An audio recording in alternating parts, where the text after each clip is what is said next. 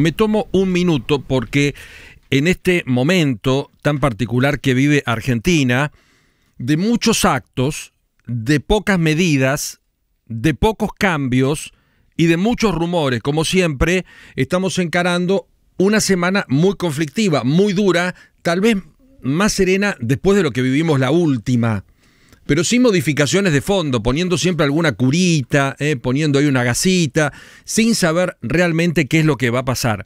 Los que esperaban que la ministra Bataki venga con un aval para hagan cualquier cosa, total está todo bien, estaban confundidos. Primero porque eso no va a suceder y segundo porque eso no es bueno para la Argentina. Algún día Argentina, saquen la palabra si no les gusta, ajuste, pero algún día la Argentina va a tener que ordenarse, va a tener que gastar lo que tiene, va a gastar más y si gasta más va a gastar bien, no va a despilfarrar dinero, va a tener un orden, no va a tener circunstancias que estén vinculadas a la corrupción o a la sospecha que el dinero que tiene que ir para un lado no llega o que tiene que ir para otro. Me parece que cuando uno escucha el alivio y dice, uy, qué suerte, por lo menos no nos van a apretar tanto, en algún momento vamos a tener que ajustarnos nosotros sabiendo que es la, la única solución porque siete, ocho veces caímos en lo mismo y cada vez que caemos estamos peor. No es que encontramos una solución o que vivimos tirando manteca al techo o que la verdad tenemos una vida simple. Cada crisis es más profunda y cada crisis somos más pobres o cada crisis tenemos menos poder adquisitivo, aquellos que todavía no estamos dentro de ese plan de pobreza. Hoy hay una clase media en la Argentina muy, muy golpeada. Nosotros porque tenemos ese concepto de que nacimos y hablamos de la clase media, pero hoy la clase media ha perdido muchísimo. Ni que hablar en, en este último tiempo, ni que hablar en esta última semana, ni que hablar con ir al supermercado, a la farmacia, cambiar la rueda del auto o hacer algo que hasta hace no mucho tiempo atrás parecía cotidiano y común, como pensar un viaje en cuotas, como comprar un teléfono celular cuando salía un modelo nuevo o darnos un gusto con una pilcha o con un regalo para una persona o con un elemento electrónico. Entonces, veamos con atención lo que pasa cuando sale la ministra, porque algunos dicen, bueno, qué bueno, no nos van a pedir, no nos van a pedir todo lo que supuestamente no nos van a pedir, que todavía no está confirmado, son cosas que debemos cumplir algún día para ordenarnos. Porque ahí debemos 44 mil millones, pero en realidad debemos 360 mil solo en dólares y una deuda en peso monumental.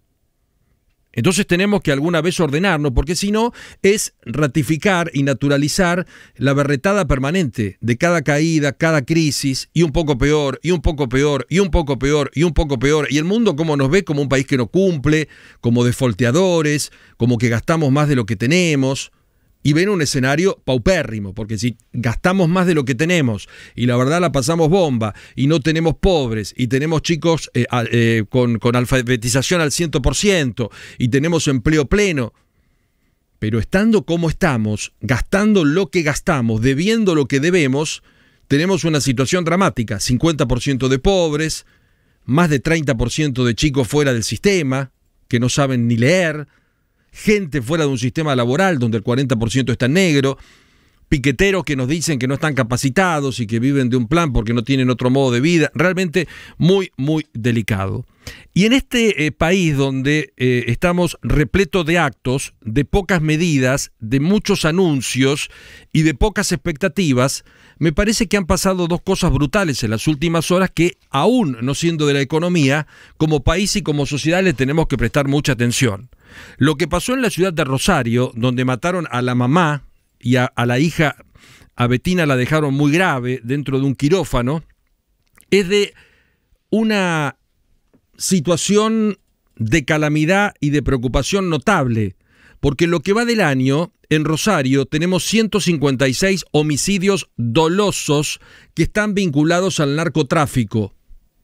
Y acá vemos lo mismo que vemos en materia económica anuncios de anuncios y ninguna medida.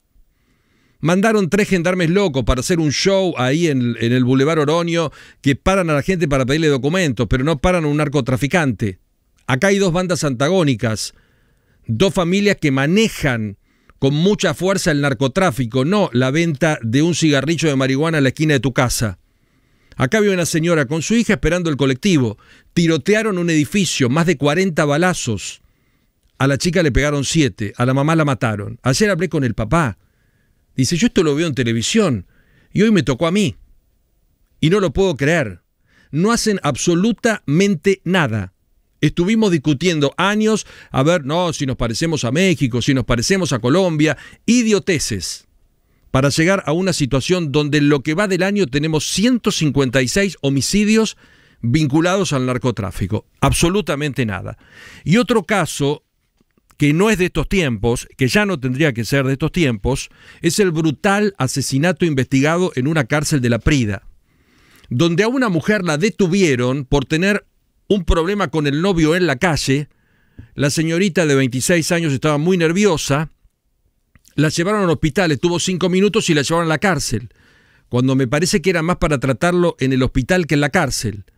Así con cinco policías terminó asesinada, de acuerdo al trabajo de los forenses de La Plata, porque los forenses o la forense de Azul confirmó un suicidio que nadie puede probar, con un pullover en una celda. Es gravísimo que en el año 2022 hablemos todavía de este tipo de policía en la Argentina y que hablemos de algún forense que puede ser cómplice de esta situación.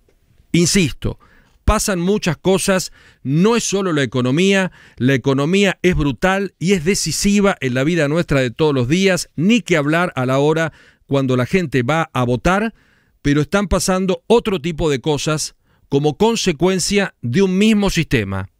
Muchos actos, mucho palabrería, mucha interna, pocos anuncios, ninguna medida, y el país sigue transitando en una situación y en un camino altamente peligroso. 9 y 18.